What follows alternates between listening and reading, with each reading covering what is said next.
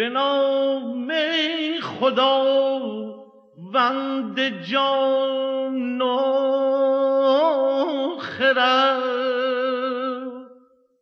که از این برترم دیشه بر نگذرد.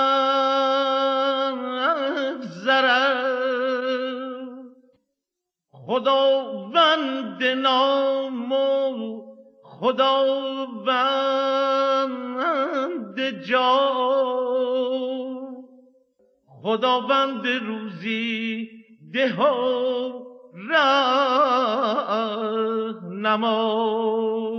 به نام جهان داور دادگر. همه رخش اندیشه را زین کنیم. جهان را به شهنامه آذین کنیم. هر آن کس که شهنامه خوانی کند چه مرد و چه زن پهلوانی کند. ز گفتار دهقان یکی داستان بپیوندم از گفته باستان. خانم ها آقایان درود بر شما. بسیار شادمانم که در خدمت شما هستم. در هفته ای که هستیم هفته بزرگ داشته فردوسی است روز بزرگ داشته فردوسی رو پشت سر گذاشتیم. شاید قریب دیگه به 16 سال شده دارم به فردوسی و شاهنامه خدمت می‌کنم. تجربه های بسیار که در این راه داشتم چیزهایی که یاد گرفتم افراد بسیاری که ملاقات کردم در این راه استادان، پژوهشگران، مرشدان، دراویش مردم علاقمند گروه های فرهنگی که در سرتاسر سر ایران گروه هایی بودند که و هستند علاقمند به فرهنگ ایران باستان فرهنگ و ادبیات کهن و برنامه هایی که برگزار می‌کردند چه شهرها و چه روستاهایی که به عشق این داستان ها به عشق این کتاب ارجمند سفر کردم و دعوت شدم برای اجرا و بعد هم کشورهای مختلف و سرزمین ها شهرهایی که حتی شاید تا پیشتر اسمشون رو هم نشنیده بودم. شاید الانم بخوام فکر کنم اسمشون هم یادم نیاد. دعوت شدم ایرانیانی که در سرتاسر سر دنیا هستن در مناطق مختلف گروه های فرهنگی با این حال به عشق ایران فرهنگ و کهن ایران زمین گروه های تشکیل دادن و هر از گاهی به مناسبت های ملی به واسطه جشن های ملی و باستانی برنامه هایی از این دست مثل شاهنامه خانی و نقل شاهنامه برگزار می‌کنن یا برگزار کردن و رفتم و بسیار خوشحالم که در این راه هستم. در همین هفتم که هفته بزرگداشت فردوسی است به کانادا میرم و در شهر ادمونتون کانادا اجرای برنامه دارم برای گرامی داشته فردوسی در این هفته هفته بزرگ داشته فردوسی. از سوی انجمن فرهنگی ایرانیان در شهر ادمونتون کانادا و پیشتر در رابطه با چگونگی نگارش شاهنامه و رنج سی ساله فردوسی بسیار صحبت کردم در چندین برنامه. و دغدغه ای که داره فردوسی در مقدمه کتابش به روشنی اشاره می‌کنه بپرسیدشان از کیان جهان از آن نامداران فرخ مهان که گیتی با آغاز چون داشتند که ایدون به ما خار بگذاشتند. چگونه سر آمد به بد اختری بر ایشان همه روز کنداوری. و با این همه دغدغه است که خودش و یاران ارجمندش اینها انجمنی میشن برای گردآوری این این نامه باستان این نامه کهن این خدای نامه ها و گنجینه های مکتوب ایران باستان اینها رو گردآوری می‌کنن پژوهش می‌کنن هزینه می‌کنن. از حامیان خودش صحبت می‌کنه در ابتدای کتاب و همینطور در مسیری که داره داستان ها رو میگه. از ناقلانی که این داستان ها رو بهش انتقال دادن نقل کردن از چامگویان از تومار نویسان از داستانگویان. و اینها رو گفته از سی سال رنج سرایش و گویا پنج سال هم برای ویرایش این کتاب و اینکه در نهایت مجبور هست که این مسیر رو به تنهایی طی بکنه بدون حامی و با هزینه شخصی چنان که پایان خوشی نداره. شاهنامه می‌گوین آخرش خوش است. چرا؟ چون پس از گزارش یک تنز تلخی در واقع. پس از گزارش تقریبا پنجاه دوره پادشاهی با همه فراز و فرودهاش با همه شکوهش با همه اون دوران پیشرفت تمدن و شهرنشینی ها و نظام در واقع سیاسیش و پهلوانیش و ارتشداریش خب در پایان شاهنامه با حمله اعراب اون دوران با همه ماجراهاش و فراز و فرودهاش به پایان می‌رسه. از این نظر می‌گویند شاهنامه خوش از تنزیز تلخ. و همینطور اینکه پایان سراش شاهنامه دوران پیری و فرتوتی و بیماری و فقر فردوسی است. اما همچنان اقتدار خودش رو داره. توهیدستی و سال نیرو گرفت. نمیگه بدبخ شدم بیچاره شدم فقیر شدم نه در ضعف نیست. با همه این شرایط بیماری درد و رنج و فقر. اما با قدرت حرف می‌زنه. توهیدستی و سال نیرو گرفت دو گوش و دو پای مناهو گرفت. شنواییش رو کم کم داره از دست میده بیناییش رو توان راه رفتنش رو. اما با وجودی که میگه مرا کاش هرگز نپروردیم. چو پرورده بودی نیازردیم چو بودم جوان برترم داشتی. به پیری مرا خار بگذاشتی. بعدش اما میگه که بناهای آباد گردد خراب. ز باران و از تابش آفتاب. پی افکندم از نظم کاخی بلند که از باد و باران نیابد گزند. چو عیسی من این مردگان را به نام یا چو عیسی من این مردگان را تمام سراسر همه زنده کردم به نام. نمیرم از این پس که من زنده ام که تخم سخن را پراکنده ام. هر آن کس که دارد خوش و رای و دین پس از مرگ بر من کند آفرین. و بعدها شاعری چون انوری می‌گوید آفرین بر روان فردوسی. آن همایون نهاد فرخنده. او نه استاد بود و ما شاگرد. او خداوند بود و ما بنده. و حالا که امروزه در ایالت های مختلف آمریکا در شهرهای اروپا همایش های شاهنامه برنامه های شاهنامه برگزار میشه بنیادهای پژوهشی پیرامون شاهنامه. در شهرهای مختلف کانادا. همین امسال من سفرهای مختلفی خواهم داشت به شهرهای مختلف کانادا که ایرانی ها با همه مشکلات و گرفتاری هایی که در غربت و در مهاجرت دارن هزینه می‌کنن حمایت می‌کنند و برنامه های از این دست برگزار می‌کنند. داستان های شاهنامه رو دوست دارن بشنون. شاید همه اینها همون آفرین بادی باشه که خودش می‌خواست و به حق هم همینطوره. بریم بر سر داستان. عقد جواهر سخن کهن در نظر دوستان. داستان ما به آنجا رسید که سیاوش از شر خلقیات پدرش کاووس شاه و دسیسه های سودابه به توران زمین پناهنده شد. شاه و وزیر از او استقبال بسیار. سرانجام بنابر مسلحت پیران ویسه وزیر سیاوش در ابتدا با جریره دختر او و بعد با فرنگیز دختر افراسیاب پادشاه توران ازدواج کرد. در این گیر و دار اما از سرنوشت شوم خودش آگاه بود. روزی تمام این سرنوشت و اینکه سرانجام قتل او جنگ های بیپایان ایران و تورانه به پیران میگه. پیران پشیمان میشه. پشیمان میشه از این که چرا اصرار داشته که سیاوش به توران پناهنده بشه و همسرانی اختیار کنه. پشیمان میشه از اقدامی که سرانجامش تباهی است. باری پیران هفته پیش سیاوش میمونه بعد افراسیاب او رو میفرسته برای گرفتن باج و خراج و مالیات و پیران به سفر دور و درازی میره میره به شهرهای مختلف که مالیات جمع کنه. سیاوش هم در همانجا شهری می‌سازه بسیار زیبا و باشکوه. به نام سیاوشگرد فردوسی به تفصیل این شهر رو توصیف می‌کنه. می‌گوید که پر از ناز و نعمت و فراوانی و باغ و طبیعت زیبا و آنچه بود. بعد کاخ سیاوش رو شهر میده. بیا راست شهری به سان بهشت به هامون گل و سنبل و لاله کشت.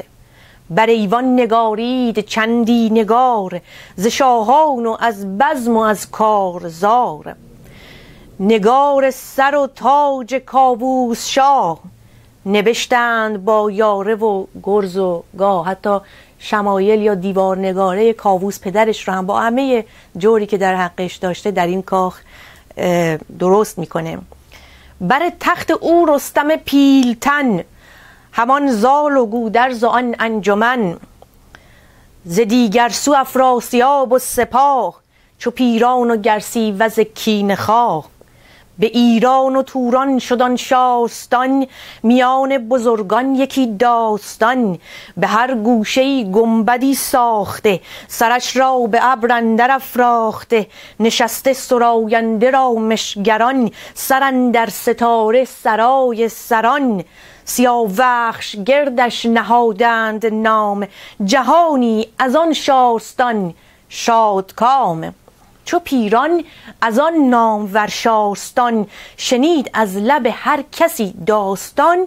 شتاب آمدش تا ببیند که شاه شاهزاده سیاوخش چه کرد اندر آن نام ور جایگاه. پیران حیران میشه از آن همه زیبایی. پس از بازگشت به, نف... به نزد افراسیاب افراسیاب جویای حال و روزگار و احوال سیاوش میشه و پیران چنین گزارش می‌کنه که سیاوش در ناحیه گنگدژ شهری ساخته در دنیا بی از زندگی شاهوار فرنگیس از چنان زیبایی ها و پذیرایی های پرشکوه از آن همه باغ و جویهای روان آبهای روان. مسئله آب واقعا از دوران باستان بسیار اهمیت داشته و داره. برای اینکه ایران سرزمینی بوده و هست بیشتر حالا سرزمینی بوده خشک. افراسیاب شاد از این خبر البته ما داریم حالا از فلات ایران حرف می‌زنیم از توران زمین ولی خب همچنان این مسئله آب در این منطقه اهمیت داشته و هر کس که شهری می‌سازه یا کاخی می‌سازه مسئله آب و ساخت جویهای روان و قنات و اینکه بتونه یک سیستمی رو تاسیس بکنه بتونه آب رو هدایت بکنه. به شهر خیلی اهمیت داشته. معماری چنین کانال کشی هایی هم در شاهنامه بهش خیلی اشاره شده. مفصل امیدوارم مجالی باشه. فقط یک بار درباره این مسئله صحبت بکنه مسئله آب در شاهنامه. به حال افراسیاب شاد از این خبر پس از چند روز برادرش گرسیوز رو معمور می‌کنه که برو تا سیاوش گرده. ببین بعد از اینکه شاهزاده ایرانی آن شهر رو ساخته آیا واقعا ماندگار شده؟ آیا به توران دلبسته و مقیم شده یادی از ایران می‌کنه یا نه؟ ببین حال و روزگار او چگونه است؟ برای فرنگیز هم هدیه بسیار ببر و دو هفته هم آنجا بمان و برگرد. گرسیوز رهسپار سیاوشگرد طبیعی است که سیاوش از او استقبال بسیار می‌کنه و مهربانی بسیار. پذیرایی بسیار شاهانه. در همین روزگار جریره دختر پیران ویسه و همسر اول سیاوش که آبستن بوده پسری به دنیا میاره. نامش رو فرود می‌گذارند. فرود هم در شاهنامه در جوانیش داستان کشته شدنی داره. بسیار به اصطلاح تراژیک بسیار غمانگیز و دهشتناک. یکی از تراژدی های اصلی شاهنامه هم همین تراژدی فرود هست. باری سیاوش در جشن تولد فرود بخشش بسیار می‌کنه هدیه های بسیار میده جشن بسیار مفصل چنان که باعث حسادت وز سیاه اندرون میشه. خب تصاویری رو ببینیم از یکی از هنرهای سنتی هنرهای دستی قبیله‌ای در توران زمین. همچنان هم به از نظر قبیله‌ای می‌گویند توران. و برمیگردیم بر سر داستان.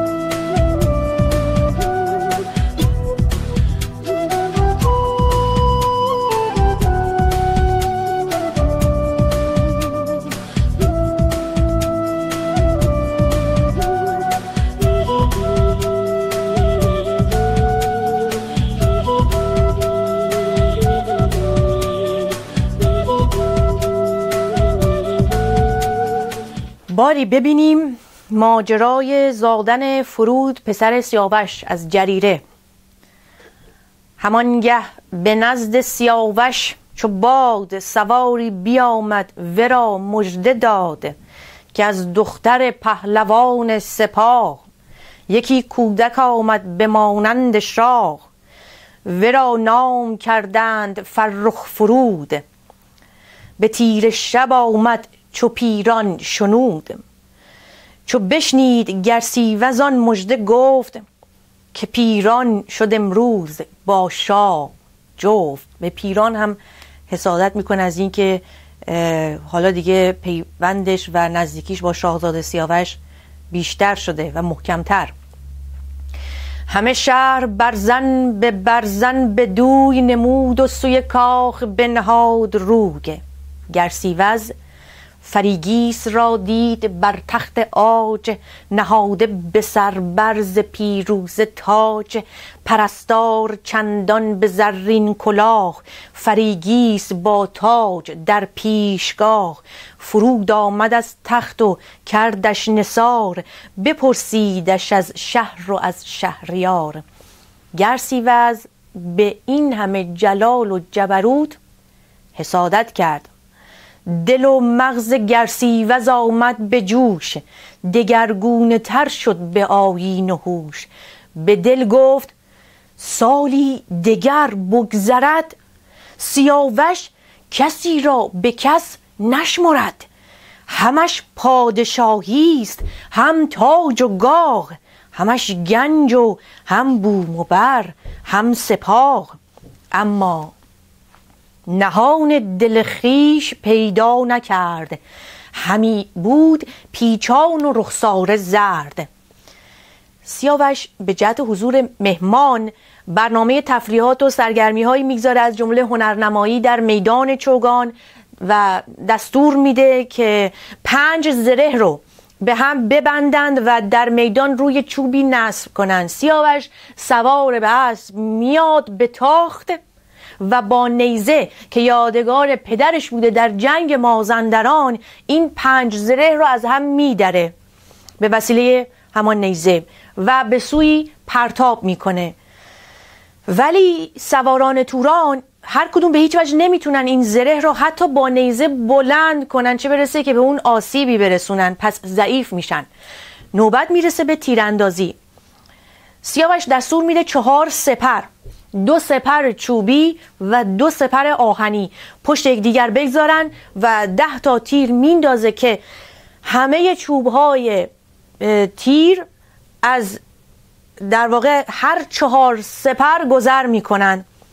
گرسی وز که چون این ضرب دستی می‌بینه میگه بیا با هم کشتی بگیریم بیا دوال کمر یکدیگر رو بگیریم. هر کسی که دیگری رو از روی اسب تونست برداره اون پهلوانتره. این هنر کشتیگیری بر روی اسب هم از اون ورزش های بسیار جالبی است از دوران باستان و ورزش حیرت انگیزی است. یک صحنه جالب و حیرت انگیزی هست در فصل رستم و اسفندیار. جنگ این دو پس از سلاح افکنی دست می‌برن به دوال کمر برای کشتی بر روی اسب. اسب هم با چنان سرعتی به تاختن انگار که هر دو سوار رستم و رستم و اسفندیار انگار سوار بر موتور هستند به سرعت. چنان این صحنه تاختن رو داره توصیف می‌کنه که همچین تصوری به ذهن میاد. در هر حال بر روی اسبها و با چنان تاختن اینها کشتی می‌گیرن. این هم از شگفتی های سینمای فردوسی است. یک فیلم کوتاه از کشتی بر روی اسب در کشور قرقیزستان از همین توران زمین هست ببینیم و باز میگردیم بر سر داستان.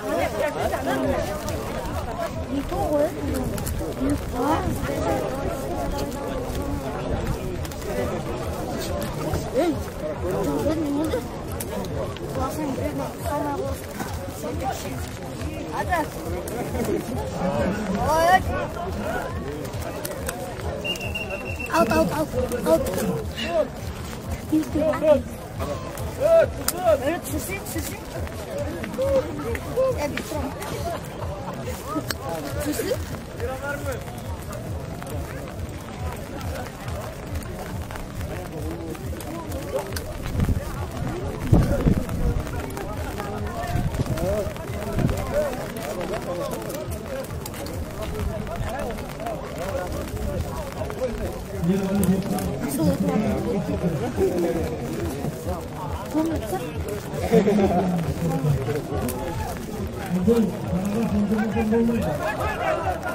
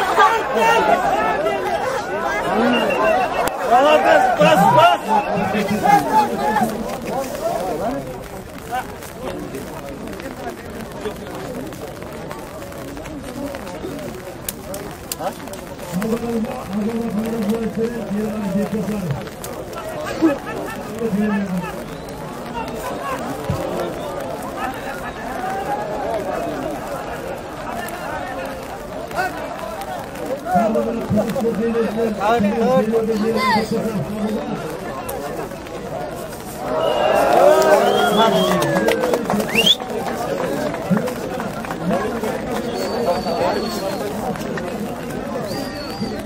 بدو گفت گر سیوز ای شهریار به ایران و توران تو را نیست یار. بیا بیا تا من و تو به آوردگاه بتازیم هر دو ز پیش سپاه. بگیریم هر دو دوال کمر به کردار جنگی دو پرخاش خر. ز ترکان مرا نیست همتا کسی. چو اسبم نبینی ز اسبان بسی. به میدان ما نیست همتای تو هماورد تو گر به بالای تو. گریدون که بردارم از پشت زین تو را ناگهان برزنم بر زمین. چنان دان که از تو دلاورترم به اسب و به مردی ز تو برترم. وگر تو مرا بر نهی بر زمین نگردم به جایی که جویند کین. اگر من تو را از زمین از زین اگر من تو را از زین برداشتم من از تو دلاورترم و اگر تو برداشتی تو. سیاوش اما به هیچ وجه زیر بار نمیره و احترام گرسیوز رو به عنوان مهمان و برادر شاه حفظ می‌کنه. سیاوش به دو گفت کین خود مگو که تو مهتری نیز پرخاش جوگ. همان اسب تو شاه اسب من است. کلاه تو آزرگ و شسب من است. نبرد دوتن جنگ مردان بود. پر از خشم اگر چهره خندان بود. زگیتی برادر توی شاه را. همی زیر نعل آوری ماه را. کنم هر چه گویی به فرمان تو. بر این بشکنم عهد و پیمان تو. زیاران یکی شیر جنگی بخوان بر این تیز تک بارگی برنشان. از یاران خودت کسی را برگزین تا من با او دست و پنجه نرم کنم. اما با شما هرگز. گرسیوز کسی از تورانیان رو انتخاب می‌کنه به نام گروه زره که همین شخص بعدها قاتل سیاوخش میشه. گروه زره بدخو رجز می‌خونه که اگر کسی هم نبرد سیاوش نیست من حاضرم به میدان او بروم. سیاوش از این لاف خوشش نمیاد از این لاف بیهوده که گروه زره خودش را همسنگ سیاوش می‌دونه. سیاوش بدو گفت کس تو گذشت. نبرد بزرگان مرا خار گشت. از ایشان دو یل باید آراسته. به میدان نبرد مرا خواسته. برفتند پیچان دمور و گروه سیاوش بدان هر دو بنهاد روی.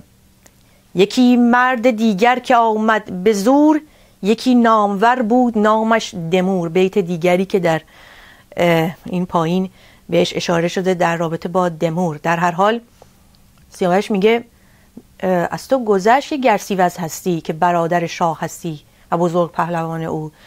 حالا دیگر دو نفری باید به میدان من بیایند در نتیجه گروه زره و دیگری به نام دمور دو نفری به میدان سیاوش میآیند. سیاوش به چشم برهم زدنی کمر گروه زره را گرفت از زین بلند کرد زد زمین و پیچید سمت دمور از زیر بغل گرفت. چنان به آسانی انگار که پر کاه است. آورد جلوی گرسیوز انداخت روی زمین. فرود آمد از اسب و بکشاد دست. پر از خنده بر تخت زرین نشست. براشفت گرسی و از کار اوی. پر از غم شدش دل پر از رنگ و روگ رنگ روگ و آن تخت زرین به ایوان شدند به کردار گردان ایران شدند. نشستند یک هفته با نای و رود میاورد و رامشگران و سرود. بعد پس از یک هفته جشن روز هشتم سیاوش نامه پرمهر نوشت برای افراسیاب و با احترام اینها رو روانه کرد. گرسیوز و یاران بسیار خشمگین از شکست در بازی در راه با هم گفتگو می کردند برهشان سخن رفت با یک دگر از آن پرهنر شاه و آن بوم و بر. گرسیوز خیلی کینجوی خشمگینه خشمگینه و میگه که دیدید با ما چه کرد؟ عرق ما را از خجالت درآورد. دمور و گروه هم که بسیار پرخاشگر و کین جوی هستند اونها هم همین نظر رو دارند. حالا دیگر اینها جز کین سیاوش و نقش کشی برای هلاکت این شاهزاده ساده دل چیز دیگری در دل نمی پروروندند رسیدند به درگاه افراسیاب شاه توران. سر و دل پر از نقشه و پر از کینه با افراسیاب به خلوت نشستند. ببینیم ماجرای این نقشه کشی ها چه فتنه هایی باز در راه سیاوش هست در حق سیاوش هست. در شاهنامه حکیم فردوسی شرح این هجران و این خون جگر این زمان بگذار تا وقت دگر.